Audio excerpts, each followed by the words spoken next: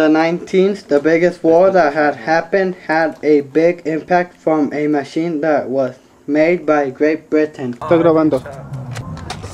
This war had started from the assassination of Archduke Ferdinand, led to the war between Germans and British soldiers.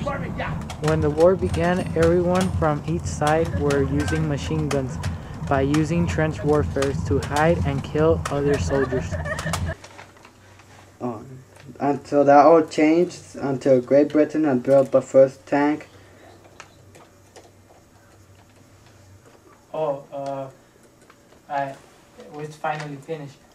I know what we should call it. Why? Little Willie, Why? because it's small. Little Willie was a square tank that it, its wheels had a little line and had a wheel in the back. The war had turned into an unfair war. You're going down, uh, Germans. No, we're not. Yeah, look at this. The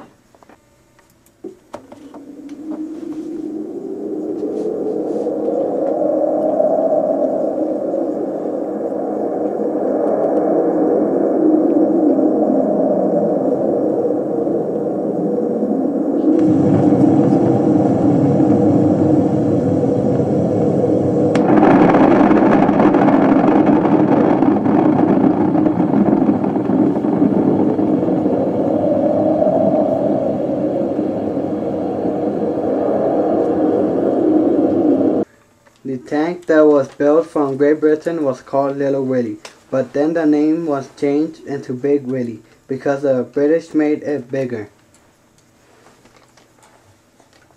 The idea of tanks came from a development of farm vehicles that came that could cross difficult lands.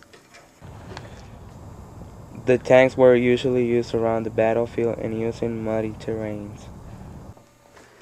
In April 1917, the French developed 180 tanks and the Osage offense along the Chemin des Dames. Unfortunately, however, they did not distinguishing themselves in this battle, once again proving highly unreliable, more so than early British models.